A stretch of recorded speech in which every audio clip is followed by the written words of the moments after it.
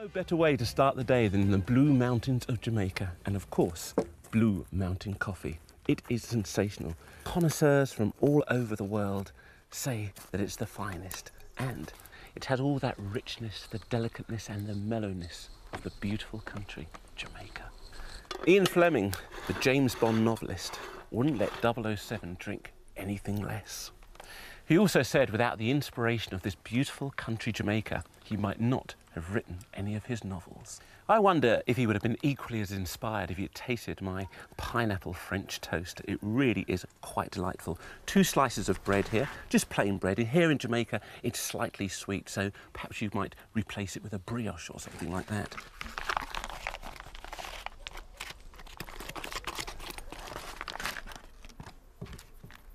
Make sure you coat it really well with lots of butter, especially at the edge to seal it in afterwards. That's it. And then I've got one tin of pineapple that I've sort of crushed down, ordinary pineapple, chunks or rings of pineapple, just fork down, take out all the juice and spiced up a little bit of mixed spice and a couple of teaspoons of sugar.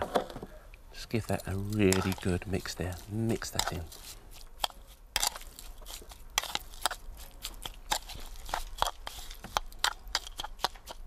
Then take your pineapple mixture and put it on top of one buttered side of the bread. Scrape that out, a couple of really sort of heaped spoons there, really pile that up in the middle.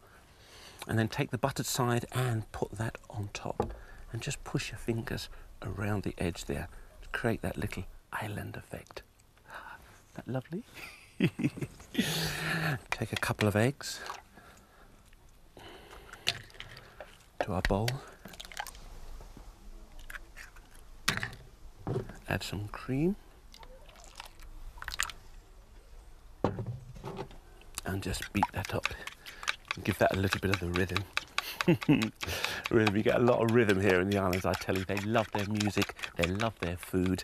And I'm not surprised because it's surrounded by these beautiful translucent waters. It's magnificent. There we are. Now a little bit more mixed spice. That's it Then you can add a couple of teaspoons of rum. Make it tablespoons. You could use the pineapple juice that you've extracted from the pineapple, but I think the rum kind of adds something extra special to it. Movie people love to make movies in this island. What about that great Hollywood star, Errol Flynn? Ah, it's a lovely story that's told about him. He was cruising down in his yacht to Port Antonio and he got shipwrecked. The old swashbuckler getting shipwrecked in Port Antonio. Lovely. He arrived on the island and he said, Hey, this is where I want to live. In fact, he proclaimed that it was more beautiful than any of his women. Let's get our pan onto the barbie there. I'm sitting it on top of nice hot coals there. That's what you want so we can toast our sandwich nice and quickly. All right, now, just add a knob of butter to there. Just melt that down. You can see that. That's it. Just beginning to foam at the edge there. Okay, take hold of your sandwich and drop that inside your egg mixture. Just turn that over there. Make sure it soaks up some of that lovely spicy rummy egg. And we're just going to slide that in to our pan. Oh, and just look at all that butter foaming up around the edge. That's really hot underneath there. That's what you want. Oh, lovely. You can see all the foams just beginning to settle down there now. I think it's about time to turn it over. It's been on for about a minute and a half there. Let's flick that up. Oh, look at that. Lovely crispy golden top there. It's all, butter's all melted into it. Ugh, how's the coffee? Mmm, the aroma is a bit special. Oh, lovely.